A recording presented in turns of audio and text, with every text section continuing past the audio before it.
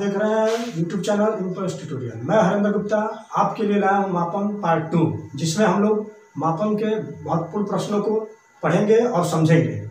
इसके अतिरिक्त हम लोग कुछ टॉपिक है जिसको भी समझेंगे। तो आइए देखते हैं मापन पार्ट टू आइए हम लोग भाग दो देखते हैं।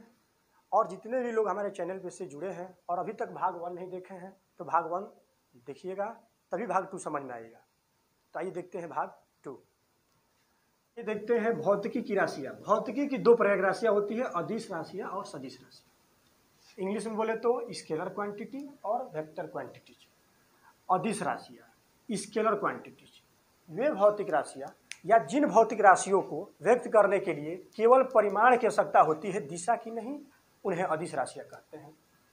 अर्थात जिन राशियों को व्यक्त करने के लिए केवल परिमाण की आवश्यकता होती है, उन्हें अदिश राशियाँ कहते हैं, जैसे चाल दूरी, समय, दाब, ताप, आवृत्ति, अन्य भी राशियाँ अदिश होती है, लेकिन ये जो राशियाँ है अदिश है, इसके अतिरिक्त और भी राशियाँ होती है जो अदिश है।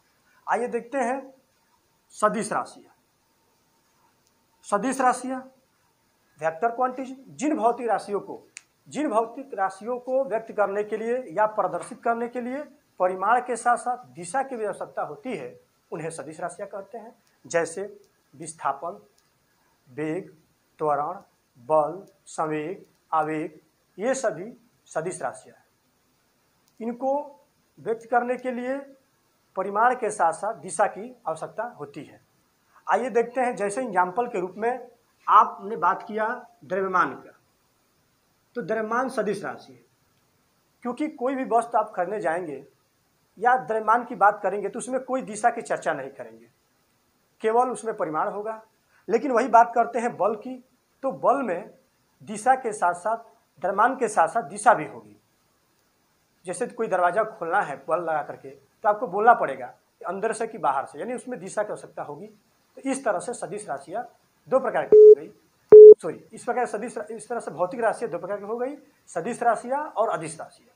तो इस तरह से जो पार्ट वन में हम लोग पढ़े थे थ्योरी वो थ्योरी का ये दो पार्ट जो था, हम लोग का छूट गया था। तो आपको अगर पूरी तरह से मापन देखना है तो पार्ट वन देखना पड़ेगा। तभी हम लोग मापन का पूरा थ्योरी क्लियर कर पाएँगे। आगे चलेंगे, हम लोग पढ़ेंगे आगे। मापन से संबंधित मोस्ट इंपॉर्टेंट प्रश्न। पढ़ेंगे नहीं, सीखेंगे कि कैसे हम लोग डेकामीटर को, किलोमीटर में, हेक्टोमीटर को, मिलीमीटर में चेंज करते हैं। तो आइए हम लोग सबसे पहले, इसके पहले हम लोग सबसे पहले देखेंगे कि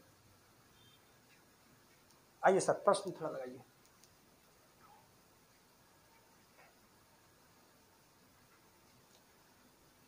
देखिए, ये लिखा है पहला उदाहरण। एक मीटर को माइक्रॉन में व्यक्त कीजिए।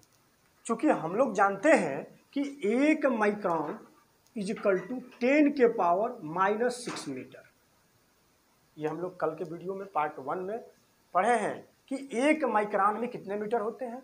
यहाँ पूछा है कि एक मीटर में, एक मीटर में कितना माइक्रोन? हम लोग पढ़े हैं एक माइक्रोन में दस के पावर माइनस छः मीटर।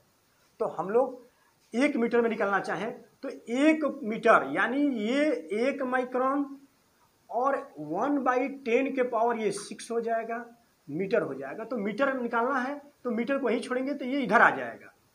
तो ये हो जाएगा टेन के पावर सिक्स माइक्रोन। क्या मीटर? मीटर बोले तो वन मीटर।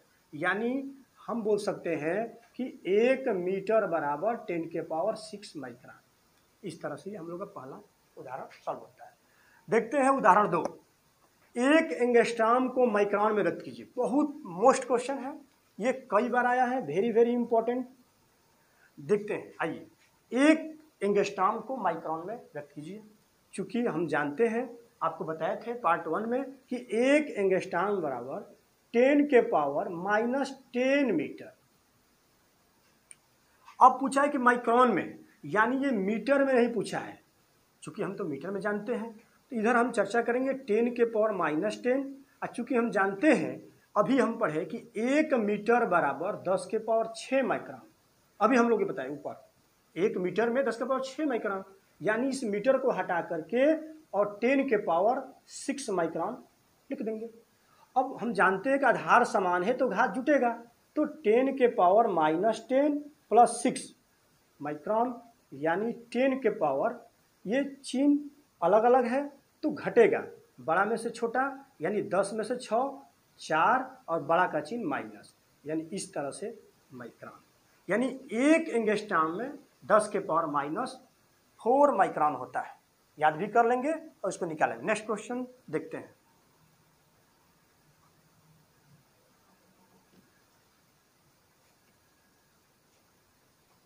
देखिए, प्रश्न संख्या तीन। एक दिन को सेकेंड में व्यक्त कीजिए। एक दिन को सेकेंड में कहा है। क्योंकि हम लोग जानते हैं कि एक दिन में, एक दिन बराबर चौबीस घंटा।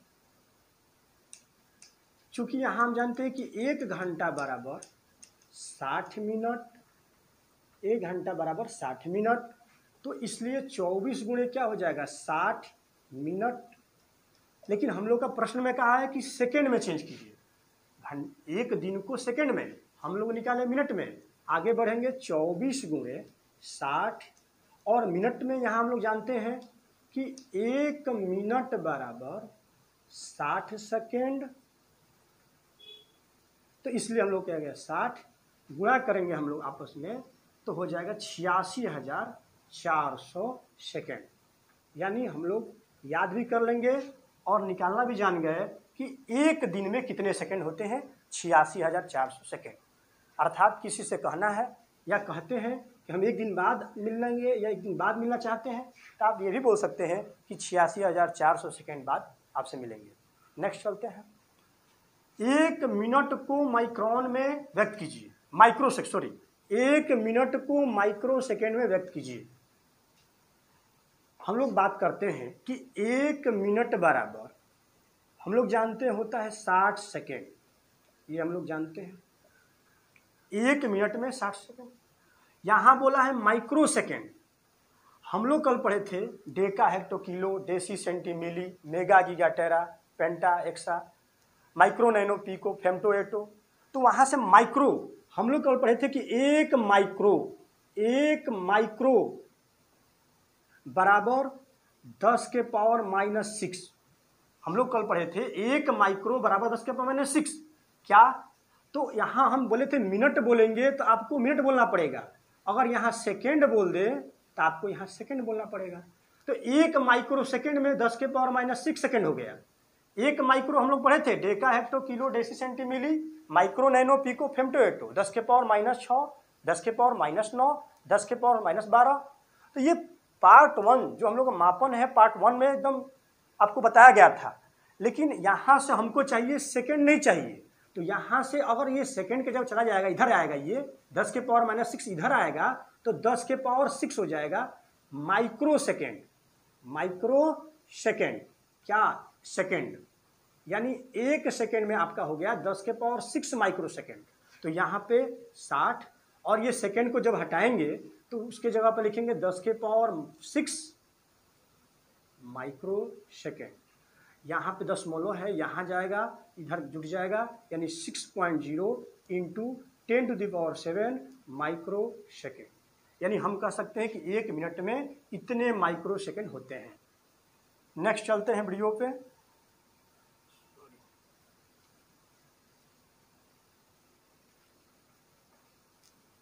आइए नेक्स्ट क्वेश्चन है हम लोग का क्वेश्चन नंबर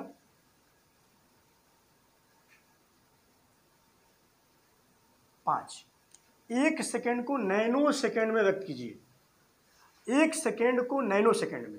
कल हम लोग पढ़े थे माइक्रो नैनो पीको यानी माइक्रो नैनो माइक्रो दस के पावर माइनस छ नैनो दस के पावर माइनस नौ। तो हम लोग जानते हैं कि एक नैनो एक नैनो माइक्रो के बाद नैनो तो एक नैनो मतलब दस के पावर माइनस नौ। अब यहाँ क्या? तो जो भी यहाँ जैसे मीटर बोलेंगे तो यहाँ मीटर लिखेंगे। क्योंकि लिखा है सेकेंड, कितना सेकेंड होता है? Nano second. यानी हम लोग बोलेंगे सेकेंड। तो सेकेंड हमने बोला कि एक नैनो सेकेंड तो बोलेंगे दस के पावर माइनस नौ सेकेंड। नेक्स्ट प्रश्न छ पर चलते हैं हम लोग। एक माइक्रोग्राम को किलोग्राम में चेंज कीजिए। बहुत मोस्ट प्रश्न। यहाँ देखते हैं एक माइक्रोग्राम तो हम लोग जानते हैं कल का कि एक माइक्रो एक माइक्रो एक माइक्रो बराबर दस के पावर माइनस छ अब यहाँ क्या? कुछ नहीं तो कुछ नहीं। हमने लिखा यहाँ ग्राम तो आपने भी कहा ग्राम लेकिन अभी सॉल्व नहीं हुआ, क्योंकि हमने एक माइक्रोग्राम में इतना ग्राम निकाला, क्योंकि प्रश्न में किलोग्राम में कहा है। कि किलोग्राम कितना होता है तो हम ये ग्राम को हटाना, हटाने की कोशिश करेंगे और यहाँ पर किलोग्राम लाएँगे। तो हम लोग पढ़े हैं deca hecto kilo deca hecto kilo यानी तीसरा नंबर पर, दस के पावर तीन, एक किलो एक किलो बराबर दस के पावर तीन। अब क्या ग्राम? तो यहाँ भी ग्राम। एक किलोग्राम दस के पावर तीन ग्राम। अब चूँकि एक ग्राम में निकालेंगे, क्योंकि ग्राम को हटाना है, एक ग्राम तो एक ग्राम को निकालना चाहें, एक ग्राम को तो जब ये इधर आएगा तो दस के पावर माइनस तीन किलोग्राम। मतलब एक ग्राम में दस के पावर माइनस तीन किलोग्राम तो यहाँ से ग्राम हटेगा तो दस के पावर माइनस छ इंटू इसके जगह पर हो जाएगा ये, यानी दस के पावर माइनस तीन किलोग्राम। यानी अगर बेस सेम है तो पावर को ऐड करेंगे, यानी घात को जोड़ेंगे तो दस के पावर माइनस छ माइनस तीन माइनस नौ किलोग्राम। यानी हमारा प्रश्न हुआ, एक माइक्रोग्राम में कितना किलोग्राम? तो एक माइक्रोग्राम बराबर हो गया दस के पावर माइनस नौ किलोग्राम। नेक्स्ट प्रश्न देखते हैं।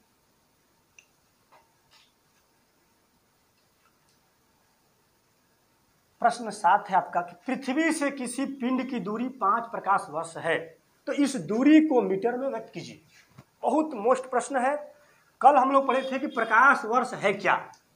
इसका मान कितना होता है? कैसे निकालते हैं? उसको भी समझाए थे। कहे थे कि याद भी कीजिएगा और निकालना भी सीख लीजिएगा। तो बताए थे कि एक प्रकाश वर्ष, जिसको हम लोग लाइट ईयर्स बोले थे, कि एक प्रकाश वर्ष बराबर होता है nine point four six one गुणे दस के पावर माइनस सॉरी दस के पावर पंद्रह मीटर होता है। चूँकि ये मीटर वीटर नहीं कहा है पाँच प्रकाश वर्ष में दूरी को मीटर बताना है। तो हम जानते हैं कि एक प्रकाश वर्ष का मान इतना होता है।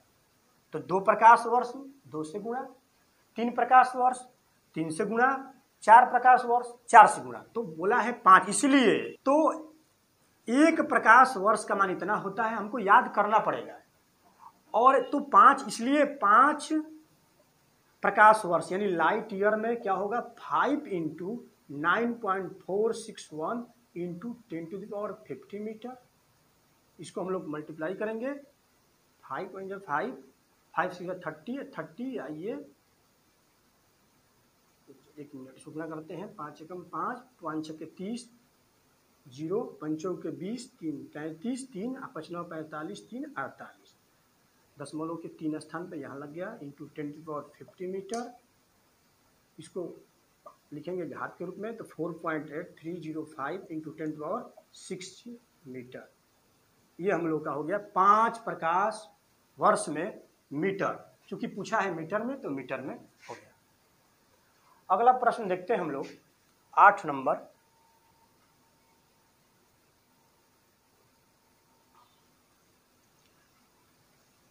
देखिए, प्रश्न आठ क्या कहता है? एमकेएस प्रणाली में किसी प्रश्न संख्या आठ एमकेएस प्रणाली में किसी किसी लकड़ी के गुटके का आयतन ज्ञात कीजिए। यदि उस गुटके की लंबाई, चौड़ाई और ऊंचाई क्रमशः 35 सेंटीमीटर 10 सेंटीमीटर और 2 सेंटीमीटर है। तो चूँकि हम जानते हैं, कोई भी हो, कोई भी आकृति है, उसका आयतन जो होता है, कल हम लोग व्युत्पन्न राशियों में आयतन के बारे में पढ़े थे कि आयतन होता क्या है? कैसी राशि है, मात्रक क्या होता है? तो हम लोग पढ़े थे कि आयतन बराबर, हम लोग पढ़े थे कि आयतन बराबर जो होता है, वॉल्यूम जिसको कहते हैं, लंबाई गुणे चौड़ाई गुणे ऊंचाई। किसी भी आकृति का आयतन का सूत्र है। चूँकि हम लोग का लंबाई दिया है थर्टी फाइव सेंटीमीटर दस सेंटीमीटर और दो सेंटीमीटर लेकिन हमको निकालना है एम केस में। कल के वीडियो में हम लोग पढ़े हैं कि एम का पूरा नाम होता है मीटर किलोग्राम सेकेंड। यानी इस प्रणाली में लंबाई का मात्रक मीटर, चूँकि ये लंबाई, चौड़ाई सब लंबाई है तो इनका मात्रक मीटर होना चाहिए। जो आयतन है, हम लोग का आएगा सेंटीमीटर क्यू में, लाना है एमकेएस में तो इन सेंटीमीटर को सबसे पहले मीटर में चेंज करना पड़ेगा। क्योंकि हम लोग जानते हैं कि एक मीटर बराबर सौ सेंटीमीटर तो इसलिए एक सेंटीमीटर बराबर एक बटा में सौ मीटर। क्योंकि ये आ जाएगा इधर और एक बच जाएगा, यानी सेंटीमीटर बच जाएगा।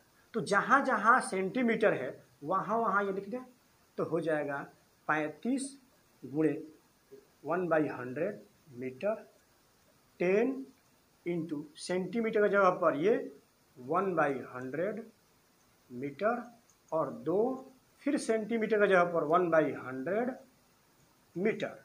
अब जो हम लोग का इसका यूनिट आएगा एम केस में आएगा। यानी ये हम लोग करते हैं, इसको मल्टीप्लाई करते हैं। इसको कैंसिल करते हैं ज़ीरो से ज़ीरो यहाँ हो जाएगा ये seventy into one by ten one by hundred into one by hundred metre cube.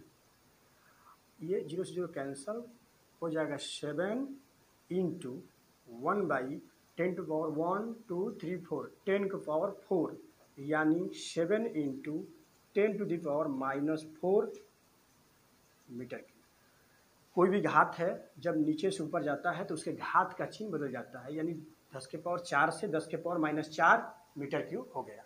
इस तरह से हम लोग का, इस लकड़ी का आयतन हम लोग एमकेस प्रणाली में निकाल लिया। आगे चलते हैं अगले क्वेश्चन पे हम लोग। क्वेश्चन नंबर नौ।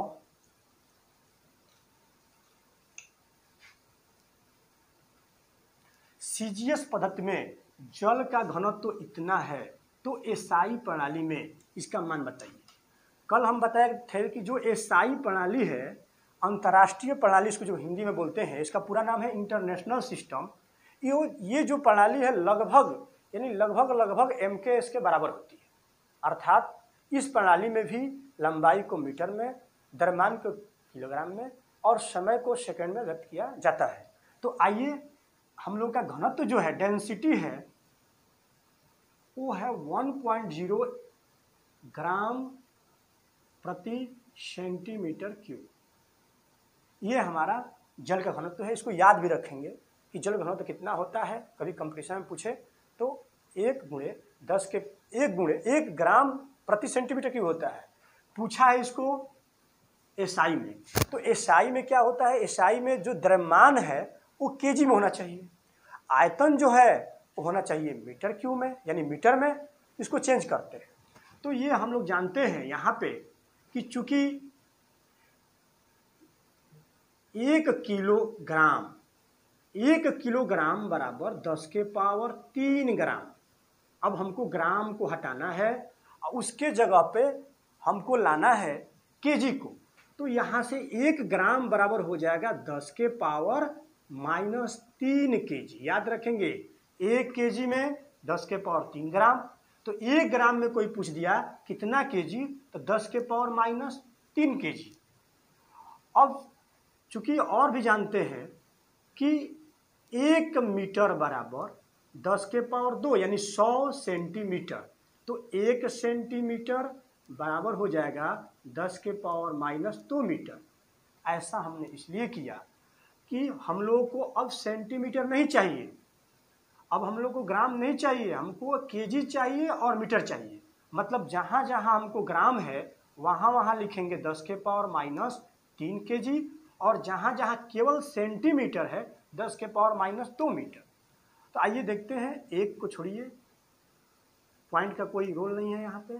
इनटू ग्राम तो ग्राम के जगह पर लिखेंगे दस के पावर यानी ten to the power minus three K G by में है, यानी बटा में है सेंटीमीटर तो सेंटीमीटर के जगह पे दस के पावर माइनस दो मीटर है तो मीटर ऑलरेडी पावर टोटल का है थ्री तो इसको हम लोग कैलकुलेट करेंगे ten to the power minus three by में ten to the power minus six गुणा करेंगे घात का। तीन दूनी छः यानी हो जाएगा के जी प्रति, एम के पावर थ्री, यानी मीटर क्यूब। यानी ये ऊपर जाएगा तो हो जाएगा दस के पावर माइनस तीन, घात का चिन्ह बदलेगा, दस के पावर छः हो जाएगा के जी प्रति मीटर क्यूब। आधार समान है, गुणा की क्रिया है, घातों को जोड़ेंगे तो दस के पावर तीन के जी प्रति मीटर क्यूब। अर्थात एक हज़ार के प्रति मीटर क्यूब ये इसको याद भी रखेंगे कि जल का घनत्व एमकेएस में कितना होता है तो एक हज़ार के प्रति मीटर क्यूब होता है। एसआई में भी कह सकते हैं और सीजीएस में कहे कि जल का घनत्व कितना होता है तो एक ग्राम प्रति सेंटीमीटर क्यूब दोनों याद रखना है। नेक्स्ट चलते हैं अगला प्रश्न पे। प्रश्न संख्या दस।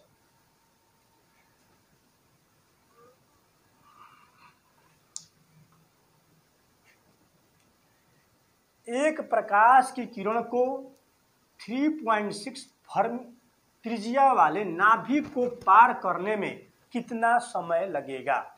जबकि प्रकाश की चाल दिया है। प्रकाश की चाल दिया है three into ten to power eight metre प्रति सेकेंड यानी चाल दे दिया, त्रिज्या दे दिया नाभिक को पार करना है। तो नाभिक को पार करना है तो ध्यान दीजिए, ये मान लीजिए कि ये प्रमाण की नाभिक है। इसको पार करना है। तो पार करना है मतलब व्यास, इसके व्यास को पार करना है। तो जो हमारी त्रिज्या आर बराबर दिया है three point six into sorry three point six fermi दिया है। और हमको निकालना है व्यास। तो व्यास होता है त्रिज्या का दो गुना थ्री पॉइंट सिक्स यानी सेवन पॉइंट टू फर्मी। और हम बताए हैं कल का फर्मी क्या होता है? तो कल बताए थे, कल के वीडियो में कि एक फर्मी, पार्ट वन में, मापन के पार्ट वन में पढ़े कि एक फर्मी बराबर टेन के पावर माइनस पंद्रह मीटर। तो यहाँ पे फर्मी को हटा दिया जाए और यहाँ पे टेन के पावर माइनस पंद्रह मीटर कर दिया जाए, ताकि एम में दिया हुआ चाल है और हमारा ये जो त्रिज्या है, व्यास है, ये भी हो जाए एम में। तो ये हमारा आपका व्यास आ गया। अब इसको पार करना है तो ये दूरी हो गई। और ये चाल है, कितना समय लगेगा? तो समय बराबर दूरी बटा में चाल। समय बराबर दूरी बटा में चाल तो दूरी दिया है हम लोग का, यही दूरी का हो गया। ये ब्यास दूरी हो गई, क्योंकि इसको पार करेंगे ना तो यही दूरी हो गई। ये हमारी दूरी हो गई। ये रखेंगे seven point two ten to the power minus fifteen metre by में, ये आपका चाल है। चाल किसमें दिया है? एम में three into ten to power eight metre प्रति सेकेंड। प्रति सेकेंड यानी प्रति सेकेंड ऊपर सेकेंड ऊपर गया, मीटर से मीटर कैंसिल यानी हम लोग का जो आएगा, इसको डिवाइड करेंगे तो two point four into ten to the power minus fifty आइए ऊपर जाएगा तो इसका हो जाएगा ten to the power minus eight अभी बताया आपको कि कोई भी राशि है, जब हर से अंश में जाती है तो उसके घात का चिन्ह बदलता है, यानी माइनस आठ हो गया। इस तरह से हम लोग ये बेस सेम है तो पावर को जोड़ देंगे, यानी घातों को जोड़ेंगे। तो जोड़िए माइनस पंद्रह, माइनस आठ, यानी two point four into ten to the power minus twenty three. आएगा सेकेंड में, यानी हम लोग का ये सेकेंड, इतना सेकेंड टाइम लगेगा पार करने में। इसके व्यास, इसको त्रिज्या वाले नाभिक को जब पार करेगा, प्रकाश किरण तो उस किरण को पार करने में इतना समय लगेगा। अगला प्रश्न देखते हैं, ग्यारह नंबर।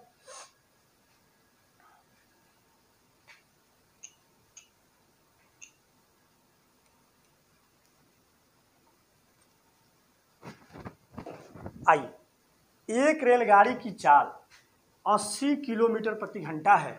इसको मीटर प्रति सेकेंड में याद कीजिए। इसको हम लोग दो मेथड से देखेंगे।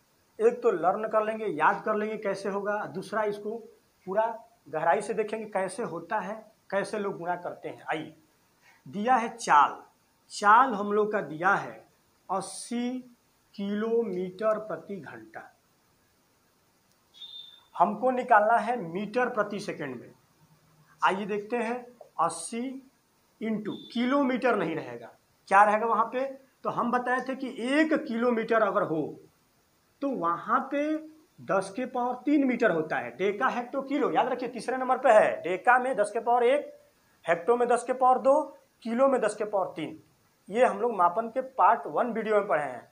जो लोग भी जो लोग भी मापन के पार्ट वन वीडियो नहीं देखे हैं, उसको देख लीजिए, ताकि आपका कंसेप्ट पूरी तरह से क्लियर हो जाए, ताकि आने वाले कंपटीशन में कोई भी प्रश्न आपसे न छूटे। तो आइए देखते हैं, दस के पावर तीन, और यहाँ घंटा। हम जानते हैं कि एक घंटा बराबर छत्तीस सौ सेकेंड होता है। तो हम क्या करेंगे? किलोमीटर को हटा देंगे और वहाँ लिखेंगे दस के पावर तीन मीटर, क्योंकि किलोमीटर हटेगा और मीटर आएगा। बटा है तो बटा है। घंटा को हटाएँगे और छत्तीस सौ यानी छत्तीस सौ हम लोग का हो गया सेकेंड। अब जो भी हम लोग का आंसर आएगा, मीटर प्रति सेकंड में आएगा। तो आइए इसको कैलकुलेट करते हैं। ये ज़ीरो से ज़ीरो कैंसिल हो गया। आठ गुणे दस के पावर तीन मतलब क्या? एक हज़ार बटा में थ्री सिक्स ज़ीरो आइए ये आ गया मीटर प्रति सेकेंड। जब इसको हम लोग कैंसिल करेंगे तो ज़ीरो से ज़ीरो कैंसिल हो जाएगा। ये चार दूनी आठ, चार नवा छत्तीस। यानी आपका हो जाएगा दो सौ बटा में नौ मीटर प्रति सेकेंड। ये हम लोग का आ गया रेलगाड़ी की जो चाल है, वो दो सौ बटा में नौ मीटर प्रति सेकेंड में आ गया। अगला प्रश्न देखते हैं हम लोग, इसको दशमलव में कर सकते हैं या छोड़ सकते हैं इस तरह से? आइए।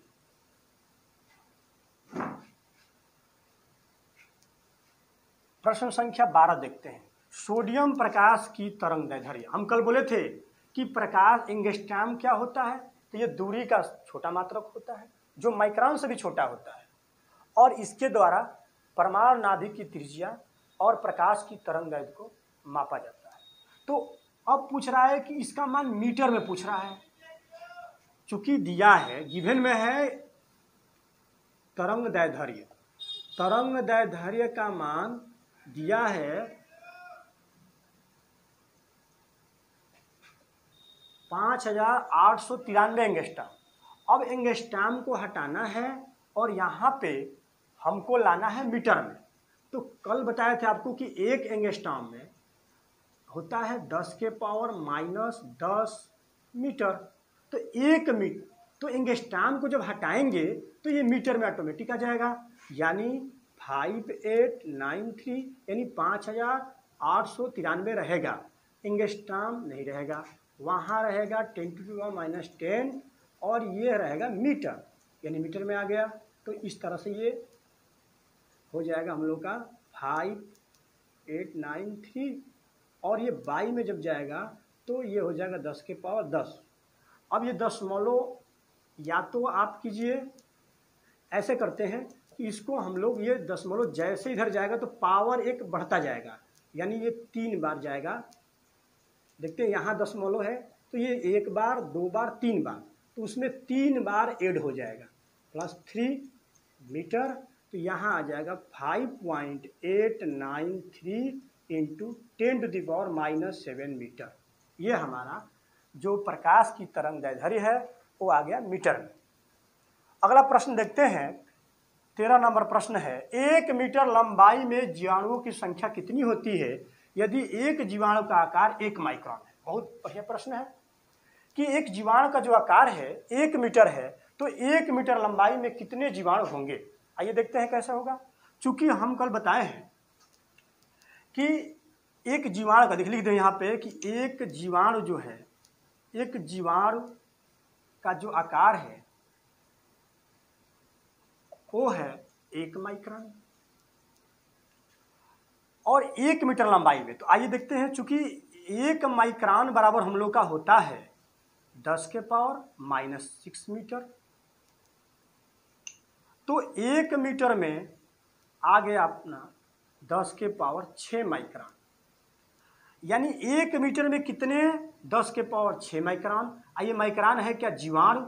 यानी कुल मिला के दस के पावर छ जीवाणु आपके आएँगे। कितने मीटर में? एक मीटर में।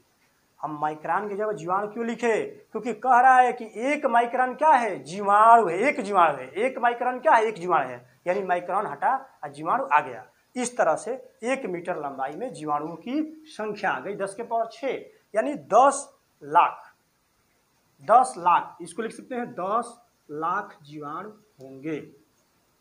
अगला देखते हैं प्रश्न हम लोग। प्रश्न संख्या चौदह।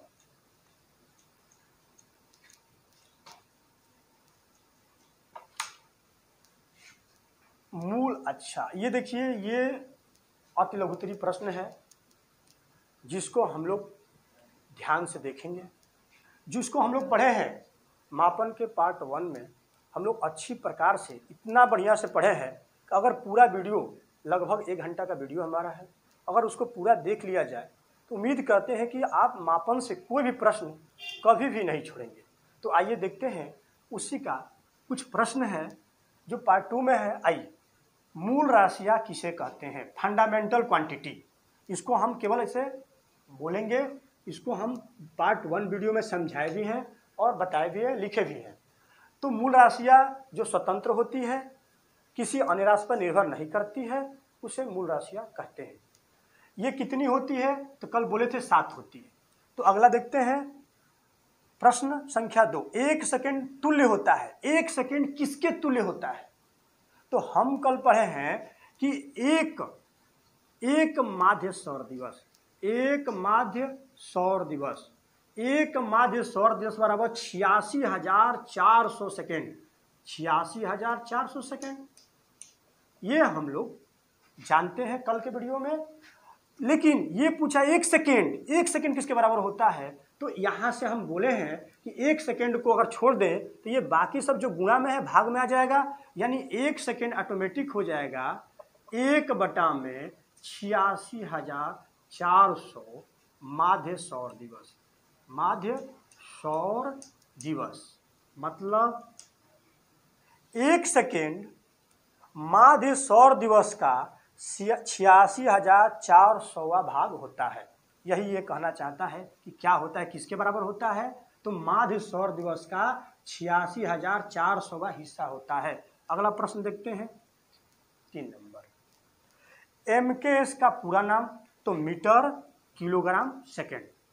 अगला प्रश्न देखते हैं। एम के एस प्रश्न संख्या ये चार। एम के एस पद्धति के मूल मात्रकों का नाम लिखिए। एम के चार नंबर हो गया। दूरी अथवा लंबाई का सूक्ष्म मात्रक क्या होता है? दूरी अथवा लंबाई का सूक्ष्म मात्रक तो हम छोटे बड़े मात्रक बताए थे कि सूक्ष्म मात्रक फर्मी भी होता है। एक फर्मी बराबर, हम लोग पढ़े दस के पावर माइनस पंद्रह मीटर। ये सूक्ष्म मात्रक होते हैं। माइक्रॉन भी होता है। माइक्रॉन एक, माइक्रॉन बराबर दस के power minus six metre. Angstrom भी होता है। एक एंगस्ट्राम बराबर दस के पावर माइनस दस मीटर। ये सभी दूरी और लंबाई के सूक्ष्म मात्रक हैं। लंबाई का अगला प्रश्न देखते हैं। लंबाई का प्रयोग में आने वाले सबसे छोटा, सबसे बड़ा मात्रक क्या होता है? तो सबसे छोटा जो मात्रक होता है फर्मी, एक फर्मी बराबर, ये जब सबसे छोटा होता है, दस के पावर माइनस पंद्रह मीटर, ये छोटा में है, और बड़ा में पारसेक होता है, पारसेक, जो प्रकाश वर्ष का 3.26 गुना होता है, प्रकाश वर्ष का ये 3.6 गुना होता है तो ये लंबाई का सबसे बड़ा ये लंबाई का सबसे छोटा। अगला प्रश्न देखते हैं सात नंबर।